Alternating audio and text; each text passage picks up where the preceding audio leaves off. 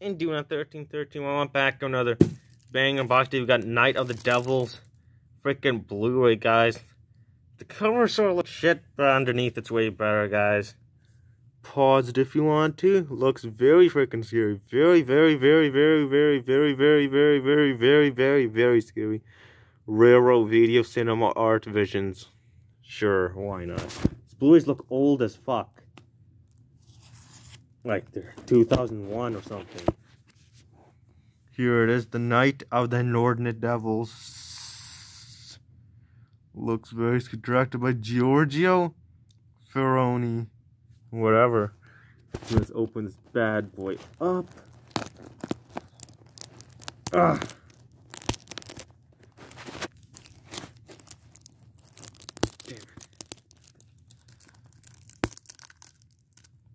Damn it's The second most expensive Blu-ray of the year. Ah. God damn It. Oh shit, I broke it. Never mind. Shit. That was rough. Here it is. The Night of the Devils. Who will survive and what will be left of them? Box it. Oh, there's another booklet in here. Holy shit, this company's good. It's like Criterion. For like more B movies. Okay, that's cool. Cool company, I like it. I broke it? No.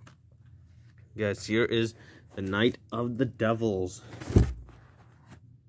Looks really, really looks promising. Okay, shit, let put slip cover back on.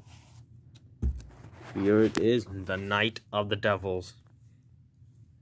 Backwards and bye.